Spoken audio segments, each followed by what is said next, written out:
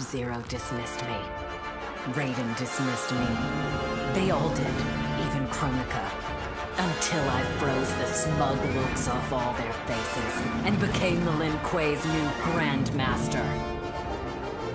The Hourglass offers even greater prospects. With it, I'll mold history to carve my name on everyone's lips.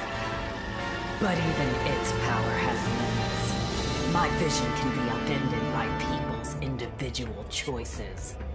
Unlike Kronika, I won't let these imperfections fester until time itself must be restarted. The Lin Kuei will be my time warriors. Traveling through history, they'll get rid of those whose actions threaten my vision. From now on, no one will overlook my greatness. I'll never be dismissed again.